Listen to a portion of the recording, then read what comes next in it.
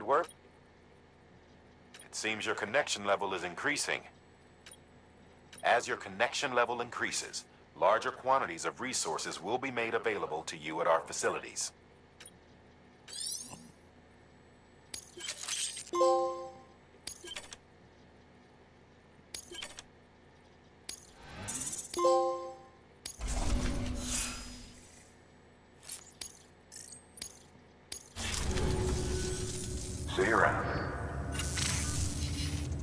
Congratulations, Sam. I understand you now have access to a chiral printer. An extraordinarily useful device that can only function because of the manner in which our network utilizes the beach, enabling us to transfer massive volumes of data instantaneously. Since under normal circumstances, such transfers would take hours, if not days, some have speculated that the chiral network might, in essence, be a time machine. That it is transmitting data into the past.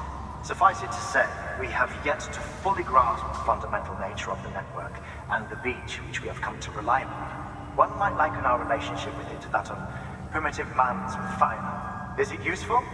Quite. Is it dangerous? Undeniably so.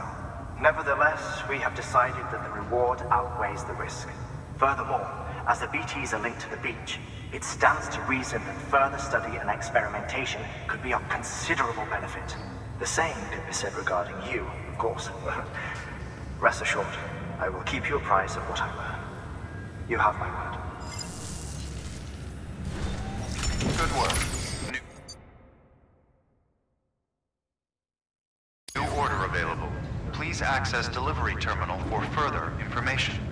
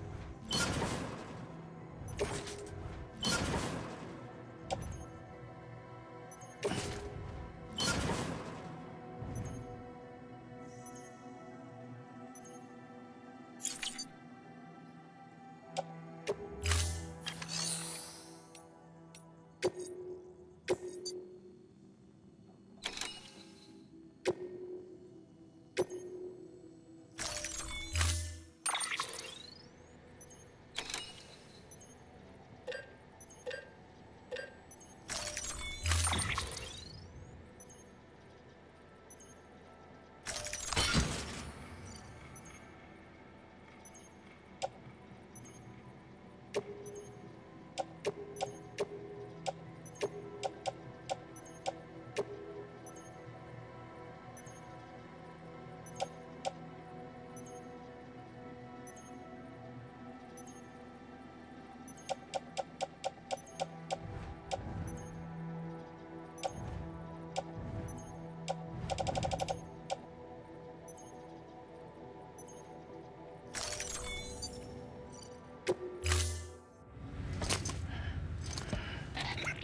thing you're holding is a crystal collector.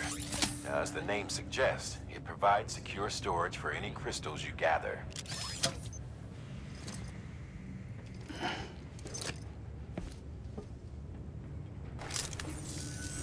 Uh, uh, allow me to describe your quarry. Chiral crystals appear gold to the naked eye and are frequently found in formations resembling human handprints. The surrounding rocks and debris tend to float a few feet above the ground. And they are most commonly found in areas with high precipitation. Got all that? Hmm? Rain, floating rocks, golden handprints. That's your trifecta. Look for these three things and you'll find the crystals. If you've been especially observant, then perhaps you already know where to look. Order assigned.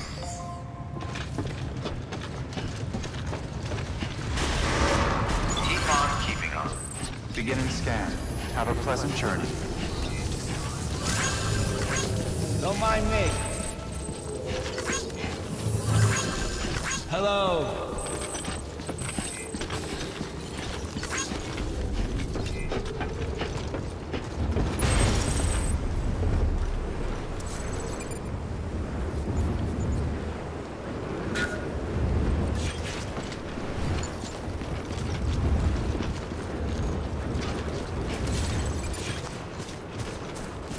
Weapons restrictions lifted.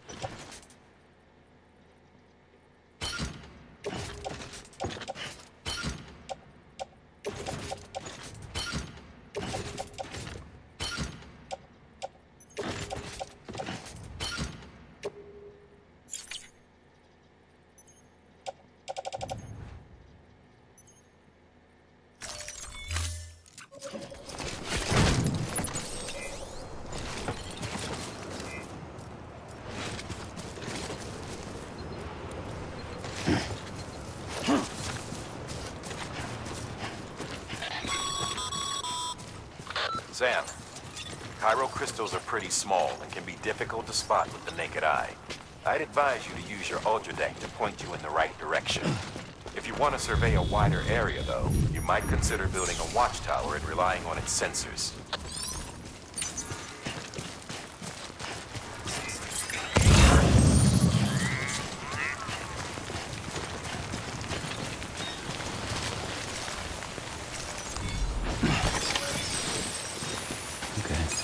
Further now.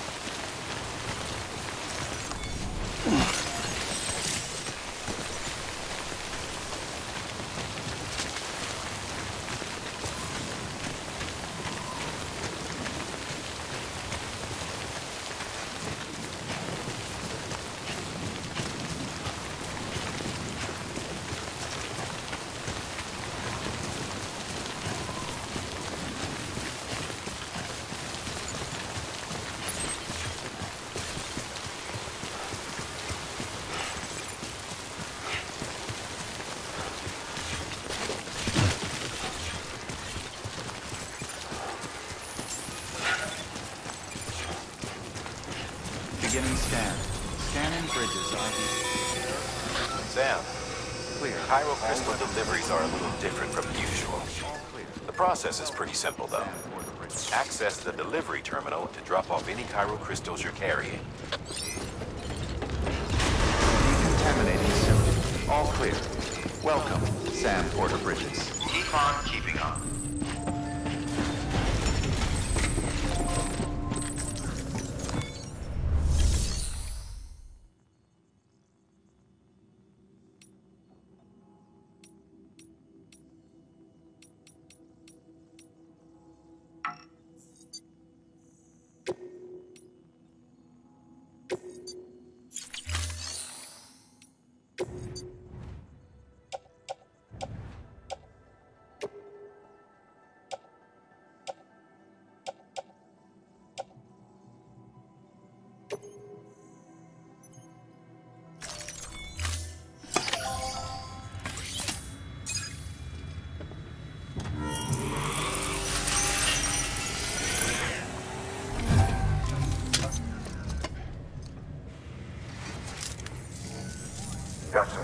Crystals for us? These crystals only form in places with elevated chiralium levels. Which makes me wonder if expanding the network had something to do with it.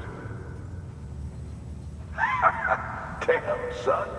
That is a lot of crystals. Maintenance and R&D will both get their fill, looks like.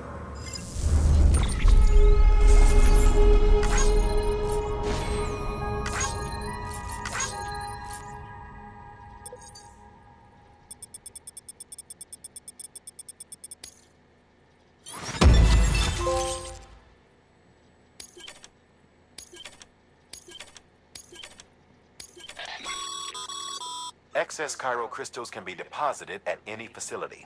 They'll be added to the stores held on site. These local stores include materials that you can draw upon to fabricate equipment as needed.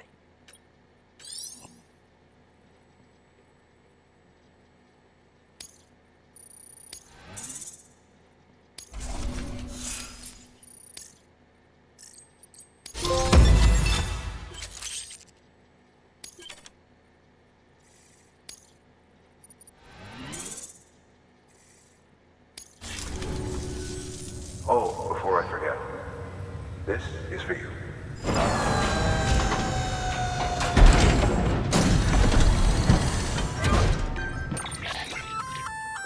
That's container repair spray for patching up cargo containers. Good for dealing with timefall degradation and all that. Useful stuff if you and your cargo have been through the wringer. We've added it to your supply.